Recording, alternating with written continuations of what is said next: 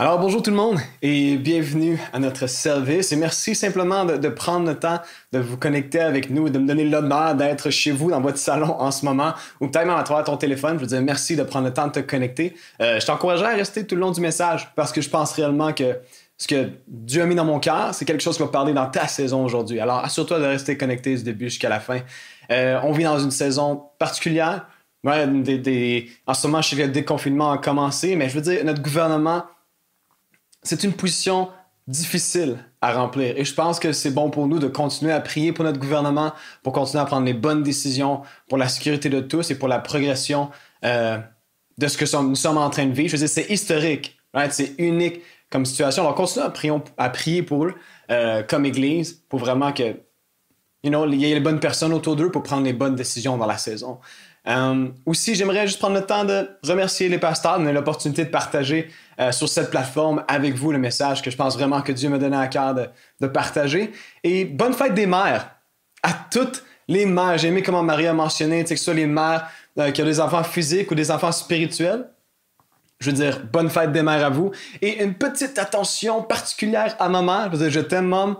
Bonne fête mères à toi, tu es super, merci pour qui tu es et ce que tu fais pour moi et ma famille. Tu es une vraie bénédiction, je t'aime et je t'envoie des bisous digital à travers cet écran. All right? Et aujourd'hui, le message qu'on va parler, le titre, c'est Libérer avant que la quarantaine soit terminée libéré avant que la quarantaine soit terminée. Et moi, j'avais l'habitude, lorsque je prêchais à l'église, que les personnes étaient là, de demander, OK, tout le monde se lève et faire une déclaration ensemble parce que ça m'aidait à ce que tout le monde puisse être dans la même pensée et focaliser ce que Dieu essaie de faire maintenant dans le moment présent. Et tu sais quoi, je vais te faire confiance et je vais te dire, lève-toi, peu importe où tu es, c'est dans ton lit, come on, sors de ton lit. It's church time, alright? Alors pour ça, mettez-vous debout et euh, déclarez avec moi, Dieu soit glorifié. Jésus, sois exalté. Saint-Esprit, transforme-moi. J'ouvre mon cœur pour apprendre à être une personne dévouée à Jésus-Christ. Amen. Amen. Alors, vous pouvez vous asseoir sur votre sofa, peu importe. Déconfinement. Right? Une saison assez particulière et maintenant qu'on entend les différentes phases de déconfinement, je vous avoue qu'il y a comme un mix d'émotions qui vient à l'intérieur de moi. Je veux dire, mais l'émotion qui prédomine, c'est celle qui dit enfin ça s'en vient. Je sais pas s'il y en a d'autres dans les commentaires qui se rejoignent avec moi. Enfin, on va pouvoir sortir de chez nous. Enfin, on va aller de l'autre côté de cette situation parce que cette, quarantaine, ça a changé euh, nos plans. Je veux dire, moi et Maria, avant la quarantaine, on passait à la cabane à sucre. Puis là, avec ça, je veux dire, oublie ça. Faudra planifier ça vraiment plus tard, d'être capable de faire ce genre d'activité-là. Euh, ça nous a amené même à changer notre horaire. Right? Et pour ceux, exemple, qui travaillent à la maison, n'est-ce pas que c'est comme assez particulier? Je veux dire, au début, on peut aller au travail, puis lorsqu'on allait à la maison, on pouvait séparer le travail de notre temps personnel, mais aujourd'hui, à cause de la maison, c'est plus difficile. Alors, il faut réorganiser notre temps. Mais aussi, pour chez nous, il fallait qu'on réorganise euh, les différentes fonctions de différentes parties de notre appartement. maintenant, notre cuisine, euh, c'est rendu notre bureau. Notre salon, c'est rendu notre cuisine. Notre chambre, c'est rendu ça a resté notre chambre, gloire à Dieu pour ça. La toilette veut dire maintenant, à cause que moi et Marion, on est deux personnes qui ont besoin de temps pour soi. Euh, si on a besoin de prendre de temps seul, mais des fois, on va juste prendre une douche plus longtemps. On dit, ah, je m'en vais aux toilettes. C'est comme juste pour respirer. Faut être créatif durant la quarantaine, right? Je veux dire, avec l'espace qu'on a, il fallait trouver les, moyens de le faire. Mais dans cette quarantaine, ça l'a amené à ce qu'il y ait des situations qu'on n'avait pas à faire face auparavant, mais maintenant qui viennent en surface. Right? Parce que oui, on vit toute la même situation, mais on la vit différemment. Et je suis sûr qu'il y a des parents en ce moment qui sont connectés et qui comprennent ce que je suis en train de dire parce que vous avez un ou même trois enfants en ce moment et vous devez travailler de la maison en prenant soin de vos enfants, en étant aussi des professeurs pour eux. Et ça, comme situation, c'est, c'est unique et particulier. C'est, c'est difficile. Ça, j'en ai aucun doute. Je peux seulement m'imaginer de quoi ça a l'air. Ou peut-être vous êtes une mère monoparentale et je vous dis, vous êtes une héroïne de pouvoir faire cette saison-là dans ce genre de circonstances, ou même que peut-être vous êtes seul à la maison.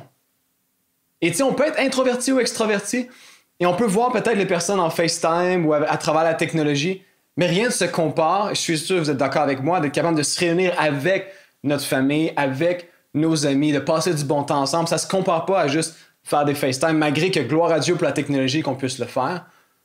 cette saison-là a emmené des situations qu'on n'avait pas à faire face auparavant. Et je crois que ça a comme donné cette impression que malgré que c'est chez nous, ça peut sentir comme une prison. Parce qu'on est pris dans quatre murs de la maison. Et malgré les différentes phases de tes confinements, je veux dire, on est quand même limité sur nos déplacements, on est limité sur ce qu'on désirait faire. Et ça donne cette impression d'être en prison parce qu'on n'est pas, on a arrêté le mode de vie qu'on connaissait pour avoir des, certaines restrictions. Et je sais pas pour vous, mais lorsque j'entends des confinements, on dirait que j'entends aussi liberté. Comme, ah, j'ai hâte que ça finisse tout ça, j'ai hâte qu'on sorte de là, je vais enfin être libre. Mais lorsqu'on dit ça, c'est comme si notre liberté est prise dans notre futur. C'est comme si cette saison, on ne peut pas réellement être libre dans la saison à cause que la liberté est simplement de l'autre côté de la porte. Mais si je vous disais que vous pouvez être libre du, du confinement avant même que le confinement finisse, que tu peux être libre de la quarantaine avant même que la quarantaine soit terminée. Et pourquoi je dis ça? Parce que cette situation en train de vivre, ça fait penser à Paul. Right? Si on va dans le livre de Philippiens, lorsque Paul écrit la lettre, il y a un ton qui est joyeux et rempli de gratitude. Mais ce qui fait que j'ai l'impression que ça connecte avec notre situation présente, c'est que Paul, lorsqu'il a écrit cette lettre, était en prison. Et c'est pour ça que j'aimerais vous mettre un peu dans le contexte pour qu'on puisse saisir ce que je suis en train de dire et comment ça peut se, connecter avec notre saison dans la quarantaine. Alors, premièrement, c'est vos Bibles, juste prenez-la avec vous, mais je vais mettre un peu dans le contexte de, de où est-ce que certains théologiens qui disent que Paul serait sûrement en train d'écrire sa lettre. Euh, certains théologiens pensent que Paul aurait sûrement écrit sa lettre soit euh, à Rome ou en Éphèse et qu'il aurait été en prison pendant qu'il est en train d'écrire sa lettre. Mais le genre de prison, ce qu'il était, ça se compare pas aux prisons d'aujourd'hui. Les prisons où ce que Paul aurait pu être emprisonné, c'était écrit comme étant des réservoirs de rétention.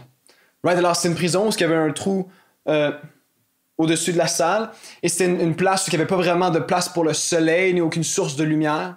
Il faisait froid. Il y avait plusieurs maladies qui pouvaient résider dans cette prison-là parce qu'il n'y avait pas vraiment un système d'entretien. Et lorsque quelqu'un était mis en prison, ça se pouvait qu'il soit oublié pendant plusieurs années. Et les deux seules sorties de la situation, ce qu'il était, un, c'est qu'il soit exécuté à mort, ou deux, qu'il retourne dans ce qu'il connaissait. Mais quand ça allait se passer, ça c'était incertain, à cause des circonstances dans où ce qu'il était. Et là, vous me dites, OK, oui, Ben, euh, lorsqu'on y pense, vous êtes en quarantaine, c'est pas vraiment la même situation qu'être dans ce genre de prison. Et ça, je suis d'accord avec vous.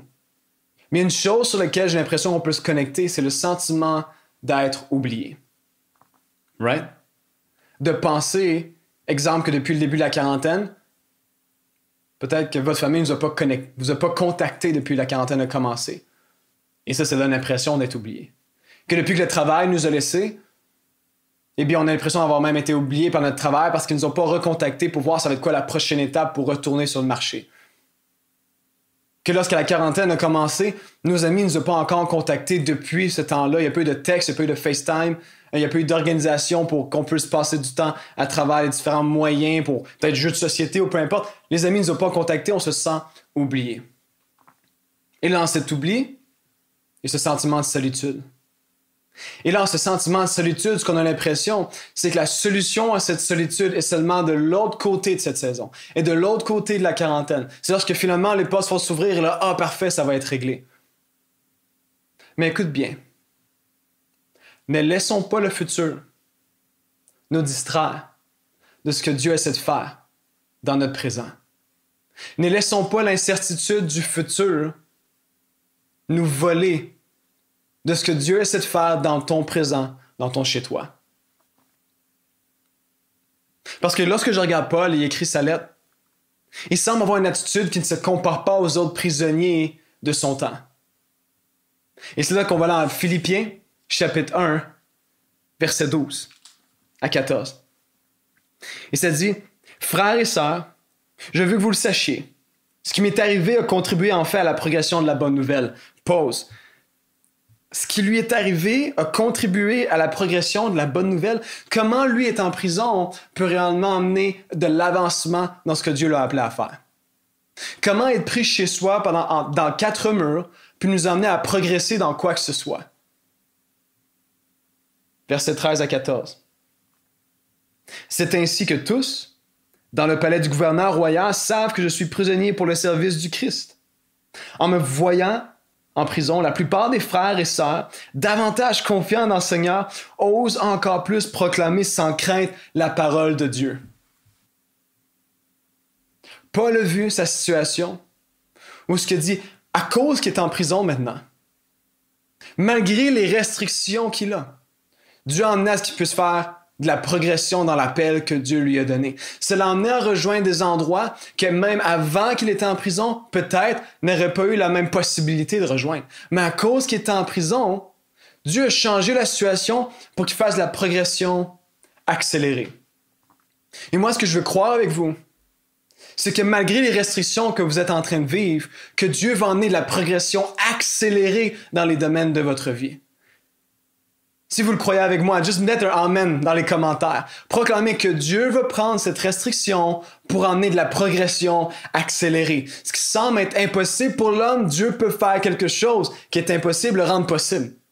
Dieu peut faire un œuvre aujourd'hui. Je ne pense pas que Dieu veut juste simplement attendre que la saison finisse pour se révéler à vous, pour montrer qu'il est vivant, pour vous libérer du confinement.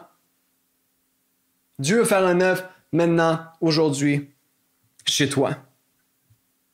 Parce que lorsque je parle de, confinement et de restrictions et comment je vois que ça amène de l'avancement, ça fait penser à l'Église même aujourd'hui. C'est comme Église, on a la mission de rejoindre le monde avec le message d'espoir en construisant une Église contemporaine dédiée à développer des personnes dévouées à Christ qui influencent la société. Et au début, je disais dans nos anciennes méthodes, lorsqu'on était simplement dans une bâtisse, on parlait de rejoindre le monde, mais souvent on demandait à ce que le monde vienne nous rejoindre. Mais là, tu vois, les restrictions arrivent, ça nous amène à changer nos méthodes, malgré la mission est la même. Mais maintenant, avec une nouvelle méthode, on peut réellement aller rejoindre le monde que Dieu nous appelle à rejoindre. Que peut-être pendant plusieurs années, vous avez voulu inviter des membres de votre famille, des collègues de travail, des amis, vous êtes comme, viens à l'église, viens à l'église, viens à l'église. Mais peu, pour, peu importe la raison, ils ne venaient pas à l'église, mais maintenant l'église vient à eux. Et là, ils ont la possibilité d'entendre le message de grâce et d'amour et de compassion de Dieu, de Jésus-Christ qui a donné sa vie pour eux, maintenant vient à eux. Ça a amené une progression accélérée. Et c'est ça que je croire avec vous, que Dieu va amener une progression accélérée dans plusieurs domaines de votre vie durant cette saison. Et l'un des domaines, je crois que Dieu va amener une progression accélérée, c'est dans votre famille. Ouais, parce que c'est certain, je veux dire, dans, dans la saison où ce qu'on est, euh, c'est assez particulier d'être avec notre famille 24 heures sur 24, 7 jours sur 7. Euh, ça nous amène à faire face à de nouveaux défis. Parce qu'auparavant, lorsqu'on avait un conflit, peut-être qu'on avait l'habitude de sortir de chez nous. De dire, ah, tu sais quoi, je vais aller au travail, je vais me distraire. Mais là, maintenant, à cause qu'on ne peut pas vraiment se déplacer aussi librement qu'on pouvait auparavant, là, ça nous amène à avoir les conversations que nous aurions dû avoir il y a plusieurs ans, plusieurs années. Mais qu'aujourd'hui, Dieu nous appelle à, arrêter, s'asseoir, avoir les conversations qu'il faut et répondre avec la patience, l'amour et la compassion. Que peut-être avant, on avait l'habitude de répondre à certaines situations avec la force. Mais maintenant, Dieu nous appelle à répondre à des situations avec l'amour, la patience et la miséricorde. Pour que votre relation en tant que couple puisse aller à un tout un autre niveau. Que la relation avec vos enfants puisse aller à un tout un autre niveau. Et au lieu de penser que la situation à votre dynamique familiale est de l'autre côté de la quarantaine, que vraiment la solution, c'est que Dieu vienne régner dans votre famille. Que son amour et sa grâce viennent régner dans votre foyer. Là est vraiment la liberté que vous cherchez. Et dans une situation comme aujourd'hui, la progression accélérée, c'est comme on a mentionné, que du monde que vous avez pris pendant plusieurs années qui viennent à l'Église. Qu'aujourd'hui, au lieu d'essayer de les emmener à l'Église, l'Église vient à eux avec un partage, maintenant, on peut partager le message d'espoir à quelqu'un qu'on désire qu'il l'entende pour qu'eux aussi soient libérés avec l'espérance que l'on a en Christ. Et si vous le croyez avec moi, vous voulez saisir cette promesse, simplement mettre dans les commentaires que Dieu prend ma prison pour faire la progression. Dieu prend ma prison pour faire la progression. Comment? Mettez dans les commentaires. Dieu prend ma prison pour faire la progression. Et Dieu peut-être faire aussi la progression à votre travail. Puis là, vous dites, non, mais Ben, c'est parce que j'ai pas de travail. Je comprends. Mais peut-être que Dieu veut pas simplement faire la progression dans la tâche du travail, mais Dieu veut faire la progression comme, comme employeur, comme employé. Dieu veut former votre caractère comme employé pour que lorsque votre employeur vous voit, il voit une personne qui est différente, qui veut servir la cause de la compagnie, qui répond avec patience, remplie d'amour et de compassion. Là, votre vie devient un témoignage vivant que Dieu peut prendre des situations qui semblent être brisées pour les restaurer. Et là, la volonté de Dieu peut se faire même à votre travail. Et peut-être que maintenant, vous êtes seul chez vous et que vous aviez l'habitude d'avoir un rythme de vie qui est accéléré.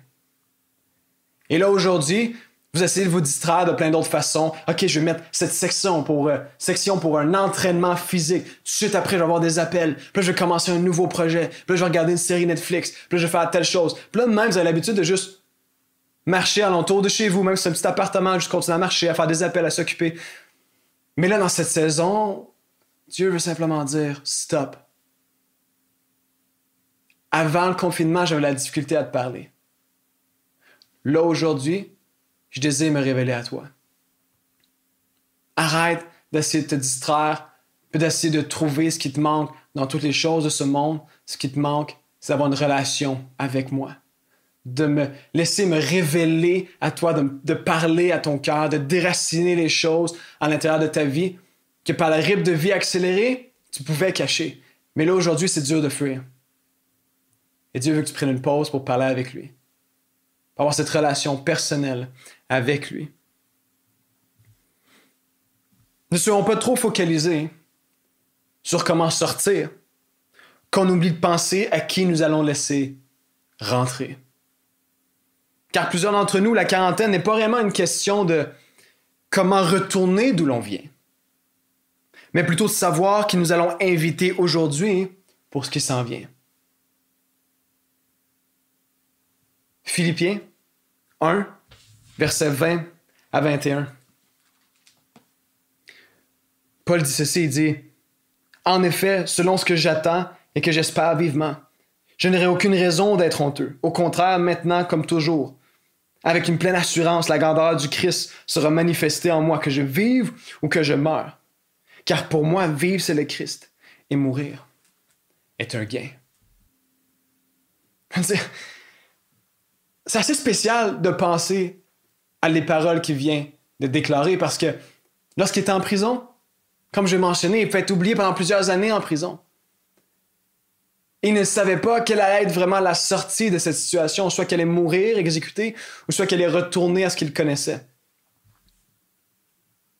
Mais lorsque je pense à Paul retourner à ce qu'il connaissait, ce qu'il connaissait, c'était pas la vie en rose. Le mode de vie qu'il vivait, c'est pas un mode de vie facile qui fait s'asseoir son sauveur en train d'écouter Netflix. Ça, c'est pas le mode de vie que Paul vivait.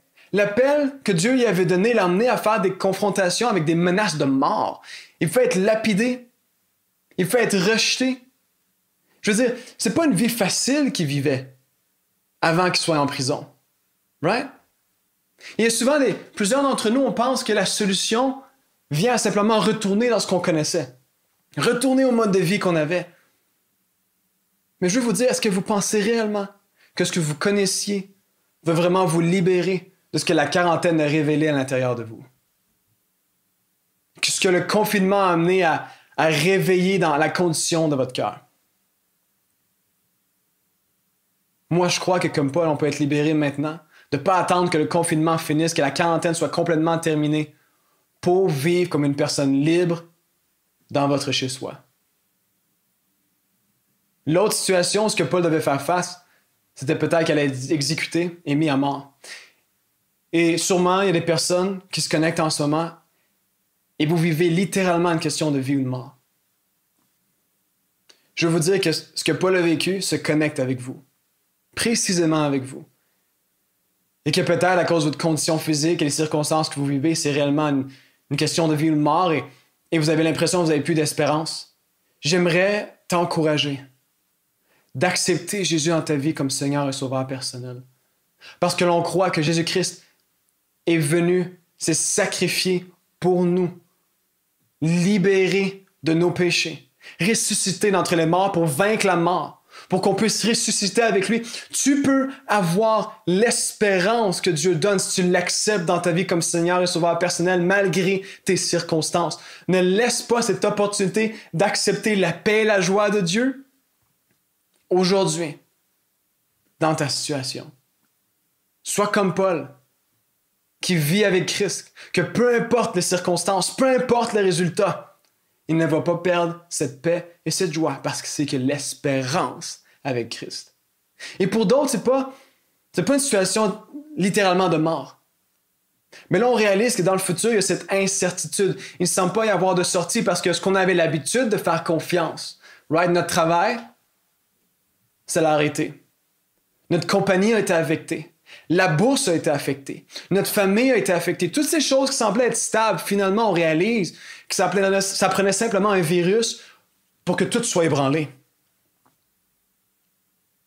Alors, si je vous disais de ne pas mettre votre situation dans l'incertitude du futur, des choses de ce monde, mais d'accepter le fait que la situation, pour votre situation présente, la situation, la solution se trouve en Christ. Il est cette personne. Il est la solution que qu'on continue de chercher dans la distraction de ce monde, dans les projets de ce monde, dans le travail, dans une famille parfaite ou peu importe. On pense que tout ça est la solution, mais en réalité, c'est que Dieu veut se révéler à toi. Jésus-Christ veut venir dans ta vie pour te donner cette paix, cette joie surnaturelle comme Paul en prison, qui peut se réjouir malgré qu'il est pris dans sa prison, dans ses barreaux. Malgré qu'on peut être pris chez soi, on peut quand même être libre du confinement, libre la quarantaine. Alors écoute-moi bien.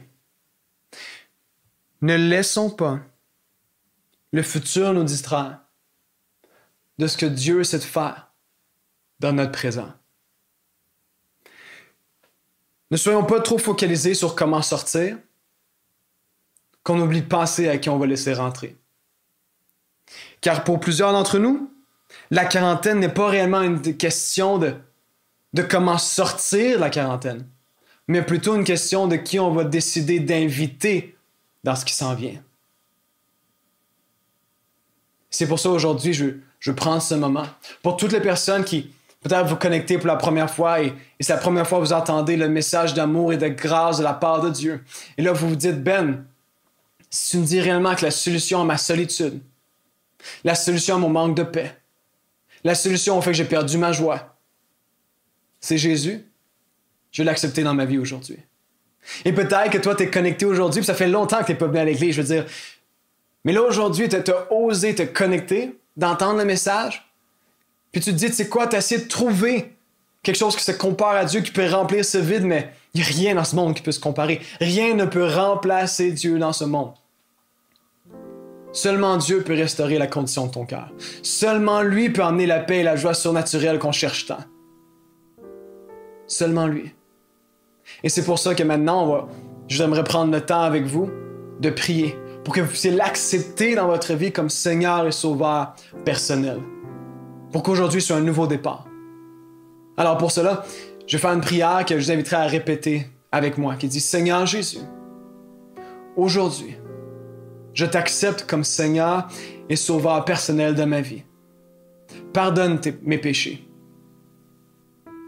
J'accepte ta miséricorde. J'accepte ta grâce. Donne-moi ta paix et ta joie surnaturelle au milieu de ma situation. Merci d'avoir donné ta vie pour moi. C'est ce que je déclare dans le nom de Jésus. Amen. Et Amen. Alors, pour tous ceux qui ont fait cette prière avec moi pour la première fois, je veux dire félicitations. Euh, c'est un honneur du fait que vous aviez décidé d'accepter Jésus dans votre vie aujourd'hui pour qu'il puisse régner dans votre foyer et dans votre vie. Pour que vous n'ayez pas à attendre que la quarantaine finisse pour vivre libre, parce que vous faites libre maintenant dans le confinement qui a pu résider pendant plusieurs années dans votre cœur. Maintenant, vous êtes libre de ce confinement. Vous pouvez avoir une relation personnelle avec le Créateur de l'univers, le Sauveur du monde.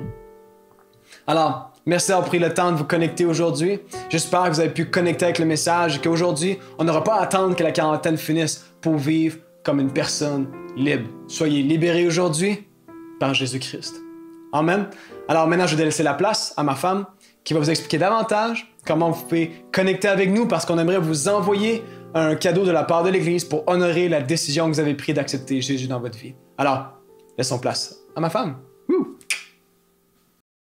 Hey, what a great message. Let's not let the future distract us from what God wants to do in the present.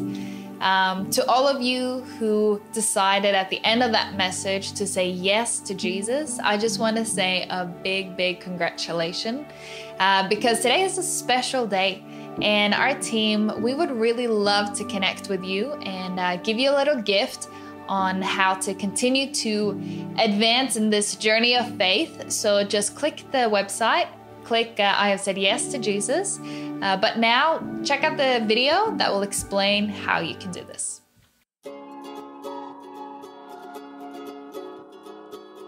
Si vous êtes nouveau et avez dit oui à Jésus aujourd'hui, cliquez sur l'onglet J'ai dit oui à Jésus. Rendu sur la page, cliquez sur le bouton Donner mes informations. Ensuite, vous aurez simplement à remplir le formulaire avec les informations demandées, puis à les soumettre. Ainsi, vous resterez connecté à la vie de l'Église et cela nous permettra de mieux vous aider dans cette nouvelle décision que vous avez prise. Congratulations again if you made that decision. Please go on the website and would love to be in touch.